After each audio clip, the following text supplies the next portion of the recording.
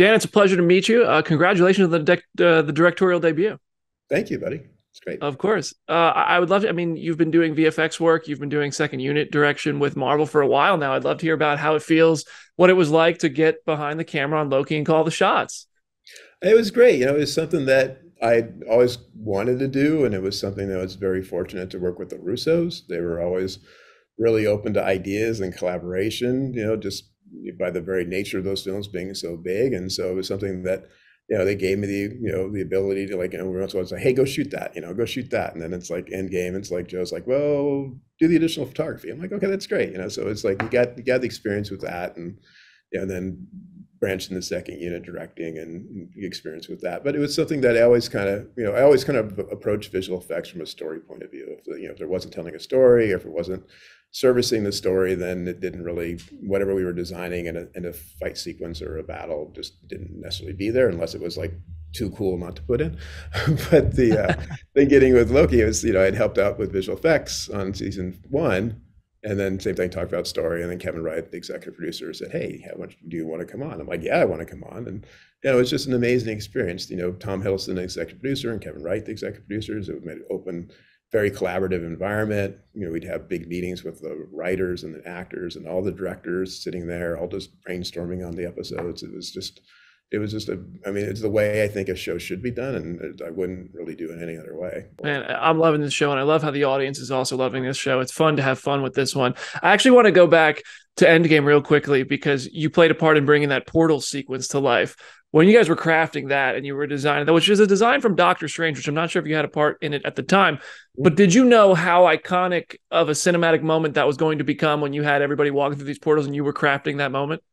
It was interesting because there was a lot of different ideas. It was there was there was a version of the cut that when the day that we had all the actors together, and it was like this long panning shot across all the actors. The day, it was the day that everyone was there.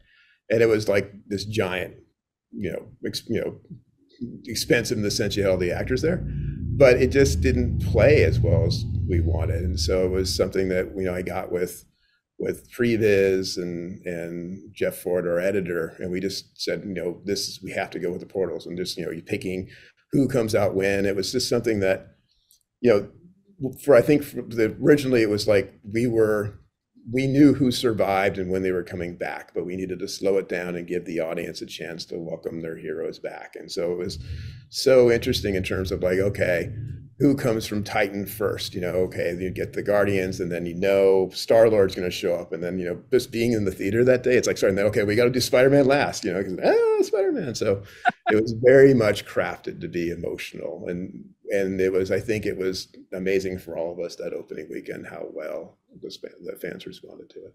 Oh, that was the best theatrical experience ever.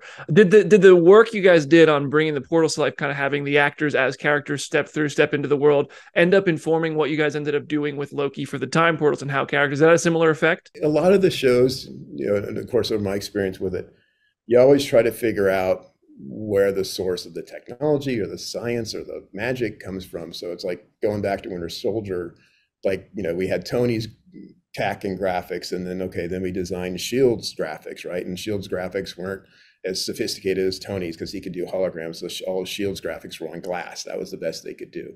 And so you know we, we always think about that. So i think you know the the the, the science of the tva is is different from what the magic doctor strange is using. So you're you're trying to give them you know again story. You know it's it's it's not it's an effect but it's story you know and what's what's the what's the story behind the magic or the tech and you know making people wonder about that. You talk about the different types of the effect because of magic versus science the tva and all that. You another thing you have to probably consider when you're directing this episode of loki is the time periods. And i thought it was really cool. I felt like you changed the look not only of the sets and the costumes and the things when we were in the 70s when we were in the 80s versus when we're in the TVA but also it felt like maybe you used different film or different cameras or something to capture because they, they, everything had a different look especially when we were in the, like the mcdonald's section of this episode. Did you do anything differently with the camera work or with maybe it was just a color filter to make it look like a footage from that era? We definitely as a something we put across the entire episode we put film grain on it you know we shot yes I, I noticed that i noticed that okay.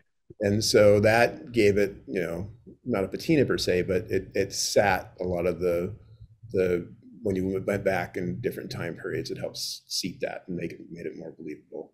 I think the palette was incredibly important with McDonald's because you started getting into the more vibrant 80s colors and contrasting to the more muted colors in the 70s. And you know, then it was just having fun and designing. The, you know, the 70s getting you know finding a reason that the punks and the mods would be together. You know, finding just the right year of you know the mods kind of coming back, you know, a little bit with the with the jam, and then Quadrophenia coming out a couple years later. So you're, you're thinking about all that stuff. You know, it's the fun part of the puzzle. You know, putting that together. That's awesome. And in that McDonald's scene, X5 and Mobius have a great conversation, and Brad Wolfe says that his movie is cinema, which is a word that I, on social media people have a lot of fun with because of obviously Martin oh, Scorsese's yeah. comments yeah. about franchises and Marvel and what is or isn't cinema. I would love to hear about how you know, it's a fun joke. I love that bit in this episode. How does that become part of the episode? Is that an acknowledgement of what everybody's talking about on social media? Is that just the conversation making its way into this series, which is a little bit meta in itself too already?